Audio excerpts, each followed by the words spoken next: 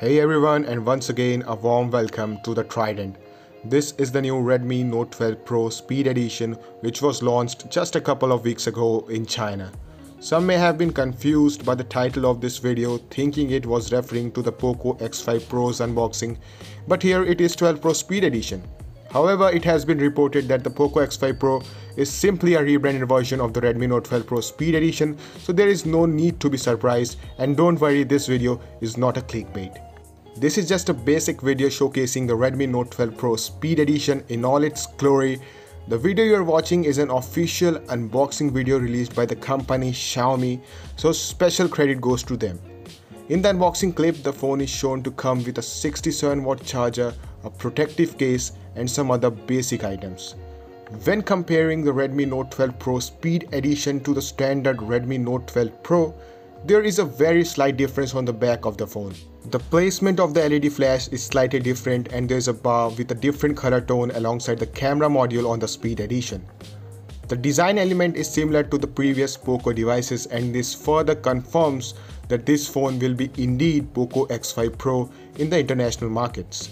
Now let's move on to discussing the specs without wasting any more time. The Redmi Note 12 Pro Speed Edition, also known as the Poco X5 Pro, comes with a 6.7-inch AMOLED display with a punch hole design in the center.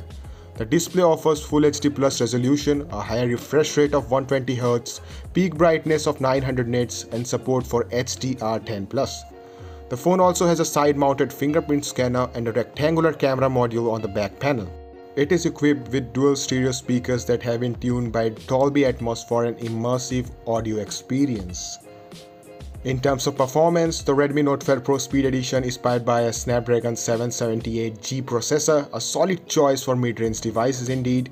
It comes with up to 12GB of RAM and 256GB of internal storage. The device also has 12-layer cooling system to effectively dissipate heat and it is equipped with 5000 mAh of battery that supports fast charging at 67 watt.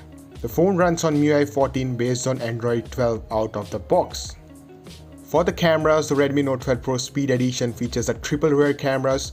The setup comprises a 108 megapixel Samsung HM2 main sensor, an 8 megapixel ultra wide angle lens, and a 2 megapixel macro unit. There is a 16 megapixel front facing selfie snapper too. So overall the Redmi Note 12 Pro Speed Edition appears to be a solid mid-range device based on its specs. If you want to stay up to date on this phone, make sure to subscribe to our channel and enable notifications. We will be releasing a comprehensive video on the Redmi Note 12 Pro Speed Edition as soon as possible. So thank you for watching and we will see you in the next video.